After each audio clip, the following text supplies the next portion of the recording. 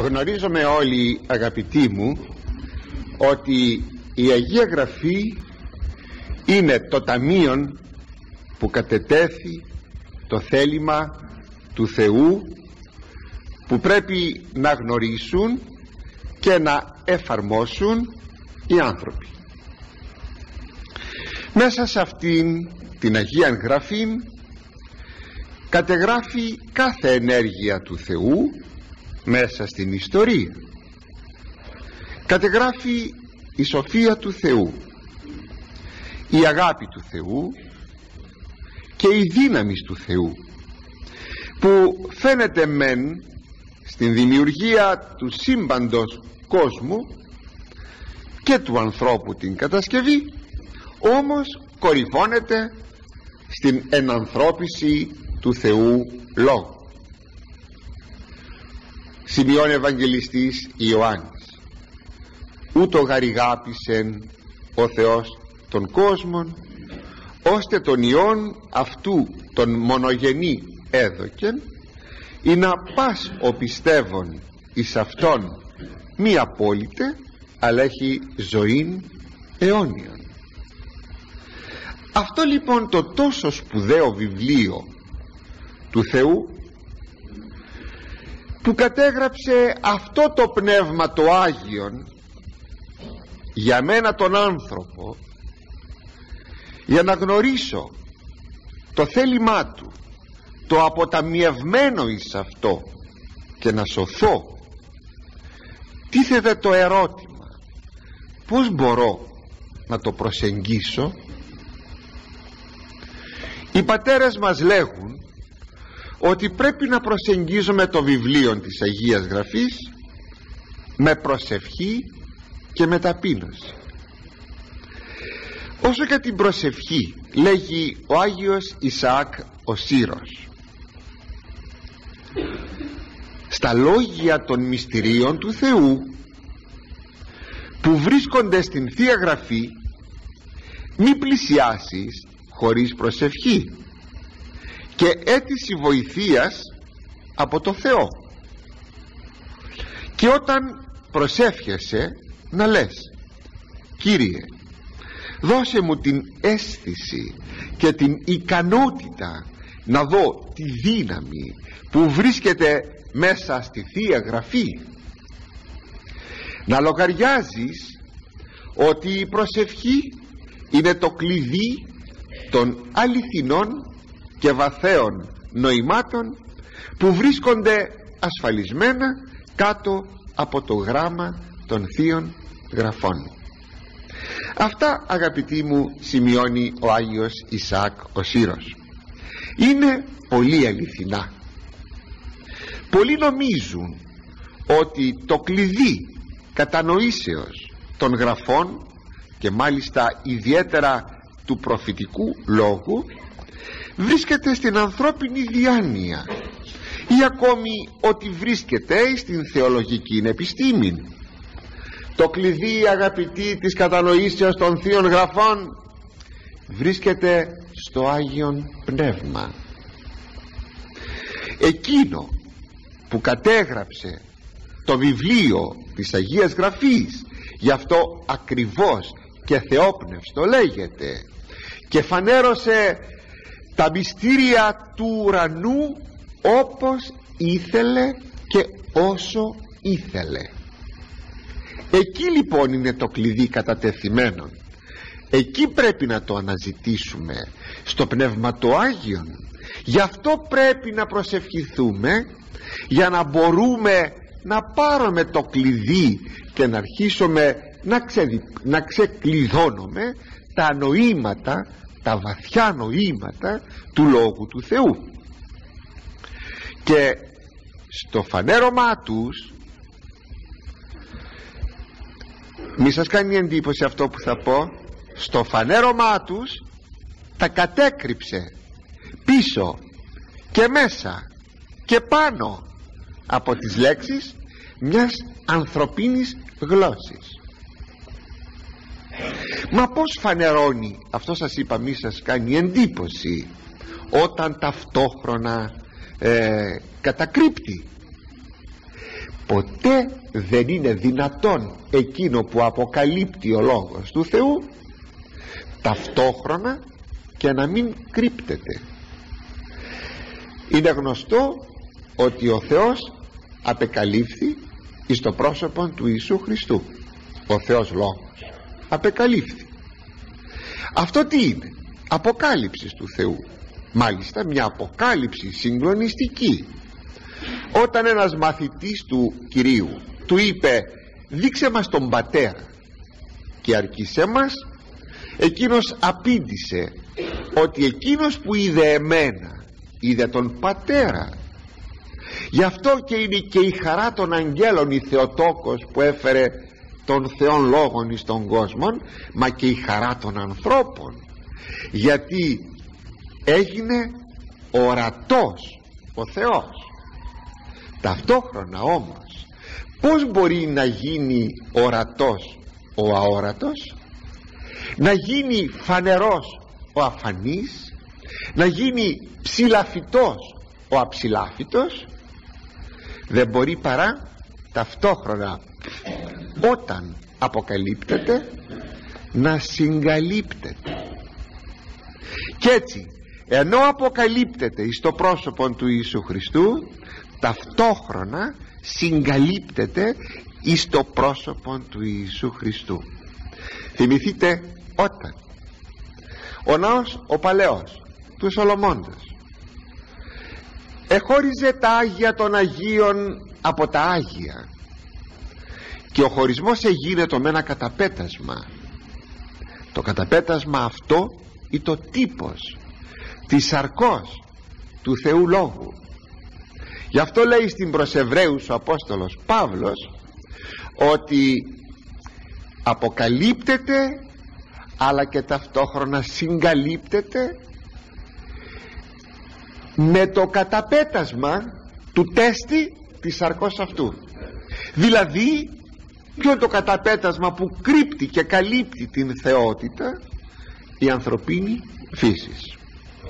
Αλλά όμως έτσι κρύπτει. Ο Θείος Λόγος αποκαλύπτοντας κρύπτει όλα τα μυστήρια του ουρανού πίσω και πάνω και μέσα στις λέξεις μιας ανθρωπίνης γλώσσης ποιος λοιπόν άλλος θα μπορούσε να κατέχει τα νοήματα αυτά ώστε να τα αναζητήσει κάπου αλλού; Μόνο το Πνεύμα το Άγιον είναι το θησαυροφυλάκιον των θείων και ουρανίων νοημάτων. Γι' αυτό πρέπει να προσευχόμεθα θερμά με τα δακρύων σε αυτό το Πνεύμα το Άγιον. Να μας δίδει το κλειδί κατανοήσεως των κεκριμένων μυστηρίων. Θα το παρακαλούμε πριν από κάθε μελέτη μας. Και όταν στη μελέτη μας δεν καταλαβαίνουμε κάτι θα σηκωθούμε και θα παρακαλέσουμε και θα γονατίσουμε και θα κλάψουμε. Αν μας πονά να γνωρίσουμε τα μυστήρια του Θεού και τα βαθιά νοήματα και τι θέλει να πει εδώ θυμηθείτε τον Αιθίωπα εκείνον τον Αράπη ε, που τον Ευαγγελίστη ο Φίλιππος. Πως Κύριε λέει θα μπορούσε Κύριε λέγει στον, στον Φίλιππο το διάκονο πως θα μπορούσα να γνωρίζω εάν κάποιον δεν έχω να με βοηθήσει γινώσκεις αναγινώσκεις. Του λέγει ο Φίλιππος ένας βοηθός και ο βοηθός εδώ είναι το Πνεύμα του Θεού και θα ανατρέξουμε θα πάμε θα καταφύγουμε συγγνώμη στο Πνεύμα του Άγιον θα γονατίσουμε θα κλάψουμε θα πολιορκήσουμε ακόμη αυτά, αυτά τα οχυρά που λέγονται λέξεις και φράσεις θα τα πολιορκήσουμε έως ότου μας παραδοθούν. Και το Πνεύμα του Θεού αγαπάει πολιορκούμενο να παραδίδεται. Αν αυτό δεν γίνει τότε το βαθύ νόημα αγαπητοί μου της γραφής μένει σφραγισμένο με επτά σφραγίδες. Σας θυμίζω εκείνο το βιβλίο το κλεισμένο και σφραγισμένο με επτά σφραγίδες πρώτου θρόνου του Θεού ανάμεσα στο θρόνο και το αρνίον. Όπως βλέπει στο πέμπτο κεφάλαιο της Αποκαλύψεως ο Ευαγγελιστής Ιωάννης. Ποιος είναι ικανός να ανοίξει το βιβλίο τούτο; Δεν βρέθηκε κανείς ούτε στον ουρανό ούτε στη γη ούτε στον άδη. Και εγώ Ιωάννης λέει ο Ευαγγελιστής έκλαια. Κανείς δεν βρέθηκε και δεν θα μάθουμε τι λέγει αυτό. Είναι η Αγία Γραφή αυτό το βιβλίο αγαπητοί μου. Κανείς δεν βρέθηκε. Μη κλαις μου λέει ο άγγελος που με ξεναγεί.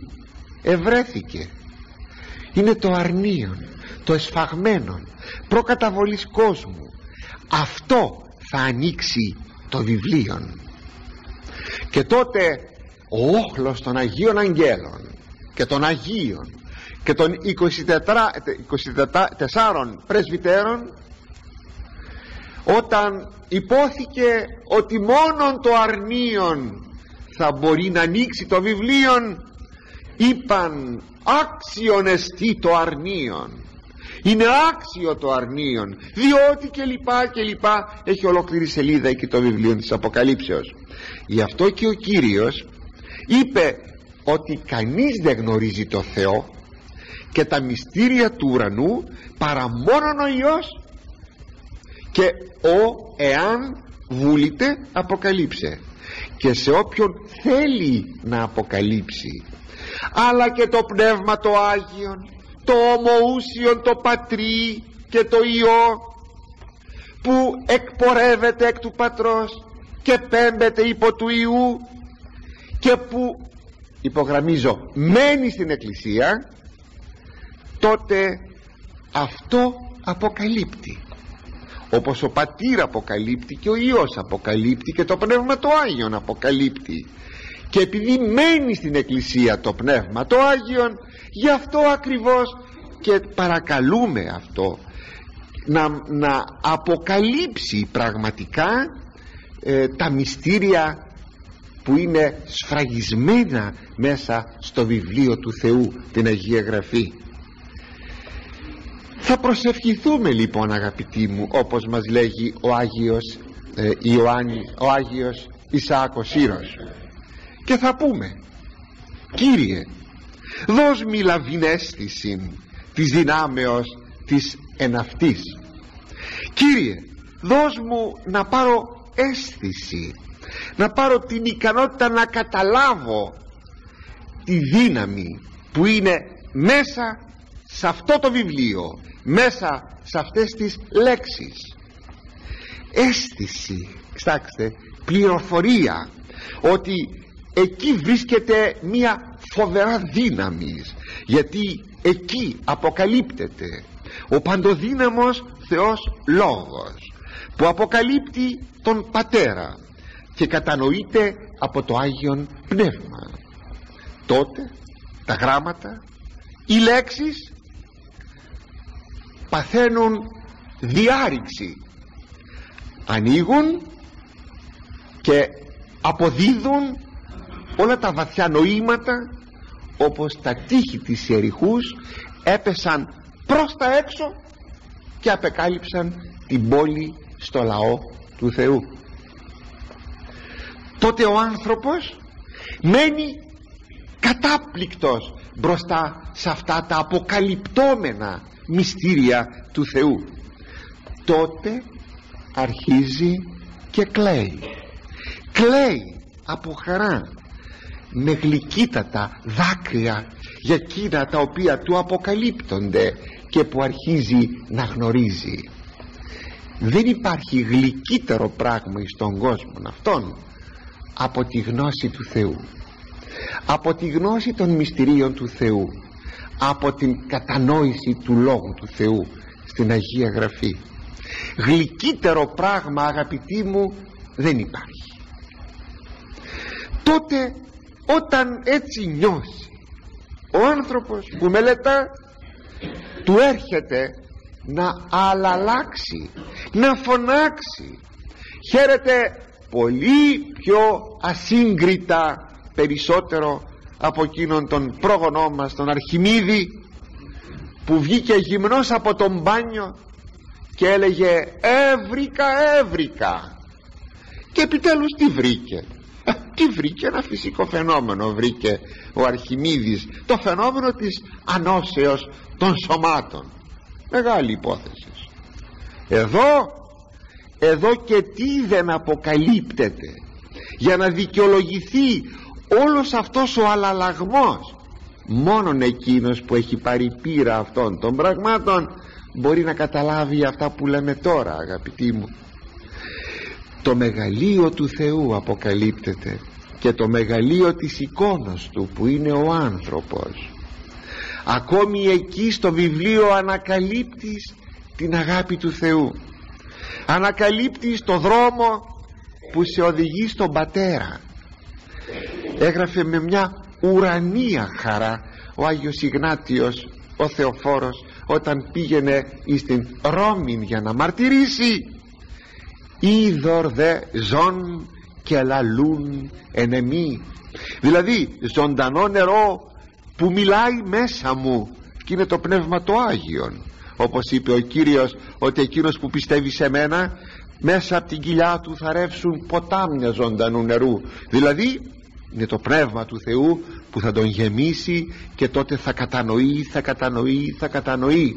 Και λέγει ο Άγιος Ιγνάτιος έσωθεν μη λέγον και μου λέγει από μέσα μου δεύρο προς τον Πατέρα έλα προς τον Πατέρα αυτή είναι η χαρά που νιώθεις από το Πνεύμα του Θεού που σου αποκαλύπτει τον Υιόν και τον Πατέρα και σε καλεί να πας εις τον Πατέρα. Γράφει ακόμη ο Άγιος Ισάκος Ήρος σε αυτό που σας είπα σας το είπα σε μετάφραση σε λέω τώρα το κείμενο μια φρασούλα λαβήν αίσθηση της δυνάμεως της εναυτής πληθυντικός ιδιωτική πληθυντικού ε, της εναυτής. Αυτή η αίσθηση να πάρεις λέει αίσθηση δεν είναι παρά κάτι πολύ περισσότερο από μια διανοητική κατανόηση που μπορούμε να έχουμε όταν μελετάμε το Λόγο του Θεού. Είναι μια βιωματική κατανόηση. Ακόμη λέγει ότι τα βαθιά νοήματα είναι ασφαλισμένα κάτω από τα γράμματα των γραφών. Γιατί ασφαλισμένα; Αυτό σημαίνει ότι δεν μπορείς να τα παραβιάσεις προσέξτε το είναι ασφαλισμένα κάτω από τα γράμματα τα τυπογραφικά των λέξεων τα νοήματα. Ασφαλισμένα που σημαίνει δεν μπορείς να τα παραβιάσεις έξω της προσευχής. Αν αντιθέτως παραβιάσεις το κείμενο για να αποσπάσεις τα μυστήρια του Θεού γιατί το θέλεις εσύ χωρίς προσευχή χωρίς το κλειδί του Αγίου Πνεύματος τότε αυτό σε οδηγεί σε πολύ πλανεμένα ή αιρετικά ή δαιμονικά συμπεράσματα. Και έτσι η γραφή γίνεται για σένα βόθρος απολίας. Αντί παράθυρο και θύρα για τη βασιλεία του Θεού. Όσοι συνεπώς έχουν ερμηνεύσει την γραφή. Ερήμην του Αγίου Πνεύματος χωρίς το Πνεύμα το Άγιον και χωρίς προσευχή αυτοί απέδωσαν δυστυχώς δαιμονικούς καρπούς που η βρώση τους οδηγεί σε αυτόν τον πνευματικών θάνατον. Μπορούμε ακόμη αγαπητοί μου να χρησιμοποιήσουμε ως προσευχή προς, το, προς τον Θεό για να μας δώσει το κλειδί να καταλάβουμε τα νοήματα εκείνη την ωραιοτάτη λειτουργική ευχή που τη λέγει ο ιερεύς πρώτου της αναγνώσεως του Ευαγγελίου τη λέγει μυστικός στη Θεία Λειτουργία. Εκείνο το έλαμψον εν τες καρδίες ημών φιλάνθρωπε δέσποτα κτλ ή ακόμη είναι μια πολύ ωραία προσευχή του Αγίου Μαξίμου του Ομολογητού επιτρέψατε μου επειδή είναι λίγο μάκρα να μην σας κάνω ανάλυση ούτε και μετάφραση γιατί θα αργούσαμε πολύ λέγει. Ελθέ λόγε πανύμνητε δώσ' των οικείων λόγων την σύμμετρον ημίν αποκάλυψη και περιελών την των επικαλυμάτων παχύτητα και αφού σηκώσεις λέγει την παχύτητα των επικαλυμάτων που είναι σκαπασμένος ο λόγος σου κρυμμένος δείξον ημίν το κάλος την ομορφιά Χριστέ των νοουμένων εκείνα τα οποία νοούνται. Λαβού της χειρός ημών της δεξιάς της εν λέγω νοεράς δυνάμεως και οδήγησον εν τη οδό των εντολών σου και εις τόπον άγαγε της θαυμαστής σου σκηνής όπως και εμείς δια της κατά την πράξην εξομολογήσεως και της κατά την θεωρίαν αγαλιάσεως προς τον σών της ευοχίας άφραστων τόπων ελθύν αξιοθέντες συνευοχηθόμεν της εκείσε πνευματικός συνεορτάζουσι την των αλαλήτων γνώσιν ασυγήτης φωνές αναμέλποντες. Έλα λέγει να γιορτάσουμε μαζί με εκείνους που γιορτάζουν εκεί σε πέρα εκεί στον ουρανό με τους Αγίους που κατενόησαν τα μυστήρια της Βασιλείας σου έλα Κύριε να μας αποκαλύψεις να γιορτάσουμε μαζί τους τη μεγάλη γιορτή των όσων τα μυστηριά σου των όσων τα μυστηριά σου μας αποκαλύπτουν. Και εμείς και εμείς σύγνωθοι Χριστέ και ήλαθοι κατατολμώντι τα υπερδύναμην ή να πλέον δοξαστεί τυφλής το βλέπειν διδούς και μογυλάλη στρανήν την γλώσσαν ποιούμενος. Κύριε Ιησού Χριστέ διάνοιξον τα ότα και τους οφθαλμούς της καρδίας μου του ακούσε των λόγων σου και συνιένε και το θέλημά σου ποιήσε. Πάρικος εγώ ημί εν τη γη μη αποκρύψεις απ' εμού τα σεντολά σου αποκάλυψον της οφθαλμής μου και κατανοήσω τα θαυμάσια εκ του νόμου σου. Αμήν. Είπαμε αγαπητοί ότι η προσέγγιση των γραφών πρέπει να γίνεται με προσευχή και ταπείνωση. Για την προσευχή το είδαμε. Για την ταπείνωση ο Αβάς Μάρκος ο ασκητής ακούστε τι λέγει ο ταπεινός που έχει έργο πνευματικό όταν μελετά τις Θείες Γραφές όλα τα νοήματά της θα θεωρήσει ότι ανήκουν στον εαυτό του και όχι για κάποιον άλλον. Γιατί αυτά που λέγει η Γραφή δεν τα λέγει για να τα καταλάβουμε αλλά για να τα εφαρμόσουμε εδώ βλέπει κανείς μια πτυχή αυτού του ταπεινού μελετητού. Του μελετητού που όχι με προσευχή προσεγγίζει τον Λόγο του Θεού μόνον αλλά και με ταπείνωση. Δηλαδή δεν θα κάνει κριτική στο Λόγο του Θεού. Δεν θα έρθει με ένα εξεταστικό πνεύμα κριτικό πνεύμα. Δεν θα έρθει με ένα υπεροπτικό πνεύμα. Αλλά θα προσεγγίσει ταπεινά ότι αυτό είναι ο Λόγος του Θεού. Έτσι πρέπει να θεωρεί τα πάντα που είναι γραμμένα εκεί στο βιβλίο του Λόγου του Θεού ότι ανήκουν για τον εαυτόν του μόνον και όχι για άλλον. Αυτά τα λέει για μένα.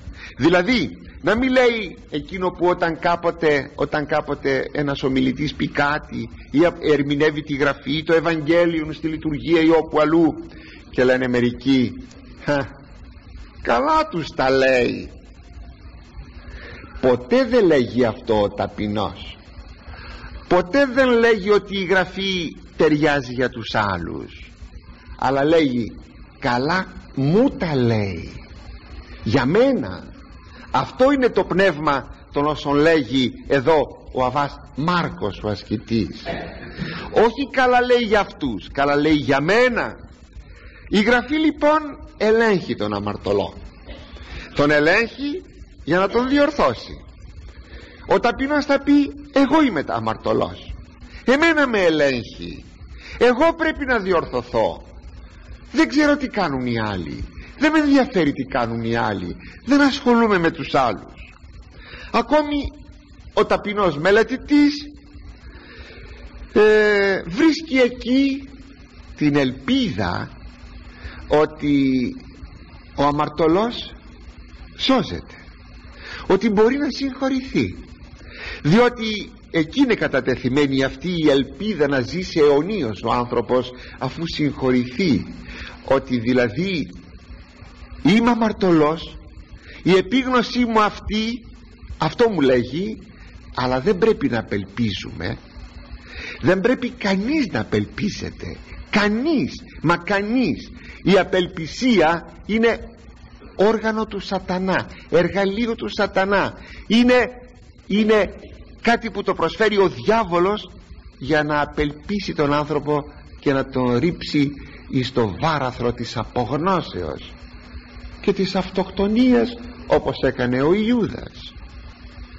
Η Γραφή λοιπόν έχει όλη την ελπίδα. Ναι αμαρτωλός. Αλλά όταν διαβάζουμε στην Καινή Διαθήκη την ιστορία του Ζακχαίου αμαρτωλός. Αλλά σήμερα λέγει ο Κύριος θα μείνω στο σπίτι σου. Όταν διαβάζουμε την ιστορία εκείνης της αμαρίτητας γυναίκας ναι και τον άνδρα που έχεις δεν είναι δικό σου πέντε άνδρες είχες. Το ξέρει ο Κύριος αυτό. Είμαι αμαρτωλή ναι. Αλλά έγινε η Αγία Σαμαρίτης. Βλέπετε λοιπόν αγαπητοί μου η Γραφή ακόμα προτρέπει στις αρετές. Προτρέπει ακόμα και στην άσκηση. Γιατί ο ταπεινός τα βλέπει όλα για τον εαυτό του. Ναι είμαι αμαρτωλός έχω την ελπίδα ότι θα σωθώ. Μου λέγει ότι πρέπει να ζήσω τις αρετές. Μου λέγει ότι πως πρέπει να ασκηθώ. Ακόμη η Γραφή δείχνει το πρόσωπο του Ιησού Χριστού. Και έτσι ζητά εκεί μέσα ο πιστός να βρει με την πίστη το πρόσωπο του Ιησού Χριστού. Δηλαδή όλο το πνεύμα των όσων μας λέγει ο Αβασμάρκος είναι ή αν θέλετε καλύτερα όλο το πνεύμα της γραφής είναι όταν με ταπείνωση μελετούμε να βρούμε τούτο. Ο λόγος σάρξε γένετο ή να η σάρξ γέννηται λόγος. Ο Θεός έγινε ο άνθρωπος για να γίνει ο άνθρωπος Θεός τι πιο μεγάλη ελπίδα υπάρχει από αυτό; Τι πιο χαρούμενο μήνυμα υπάρχει από αυτό; Πότε όμως θα το πεις; Όταν πεις η γραφή μου λέγει ότι είμαι αμαρτωλός και είμαι αλλά η γραφή μου δείχνει και το θαβόρ. Και μου δίδει γεύσεις ουράνιες. Μου δείχνει ακόμα και την Ανάσταση του Χριστού. Και συνεπώς και την Ανάσταση των ανθρώπων που θα φτάσουμε ολόκληροι με ψυχή και σώμα στον ουρανό. Ακόμη μας αποκαλύπτει η Γραφή και τη Βασιλεία του Θεού σαν τη μόνιμη πατρίδα μας. Όλα αυτά είναι δικά μου. Όχι μόνο ο έλεγχος αλλά και ο έπαινος. Όχι μόνο η τιμωρία που, που με απειλεί αλλά και οι μόνιμες και αιώνιες χαρές όλα δικά μου. Πότε όταν με ταπείνωση προσεγγίσω το Λόγο του Θεού και τα δω έτσι απλά. Αυτός που αρνείται αγαπητοί μου να δει την αμαρτωλότητά του ουσιαστικά αρνείται και τη δικαίωσή του. Δεν μπορεί να δικαιωθεί εκείνος ο οποίος αρνείται την αμαρτωλότητά του. Αυτός μένει άγευστος όλων των αγαθών που κρύβει μέσα πίσω και από πάνω. Οι λέξεις του Λόγου του Θεού. Μένει άγευστος. Έτσι η Αγία Γραφή θα πρέπει να γίνει το προσωπικό βιβλίο του καθενός. Τι έχει να πει για μένα; Τι έχω εγώ να πάρω; Πως μπορώ να σωθώ; Πως μπορώ να καθρεπτιστώ; Να καθρεπτιστώ και να δω την αθλειότητά μου και τη δόξα μου. Αυτός είναι ο λόγος του Θεού. Αυτή είναι η Αγία Γραφή. Αλλά πρώτα ο Θεός θα συνεχίσουμε την ερχομένη Παρασκευή